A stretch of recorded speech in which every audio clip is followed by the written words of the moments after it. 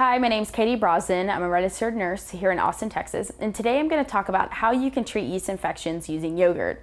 This is probably the most common form of acidophilus. It's extremely effective, and there's a couple of different ways that you can actually use yogurt to help with yeast infections.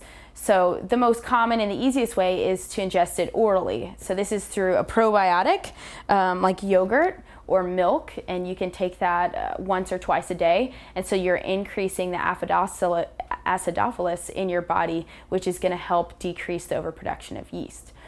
Other ways that you can use yogurt is by dipping a tampon, just a normal tampon, no deodorant, you can dip a tampon in the yogurt and then insert it vaginally just like you would a normal tampon and leave that in for a couple of hours doing that two or three times a day.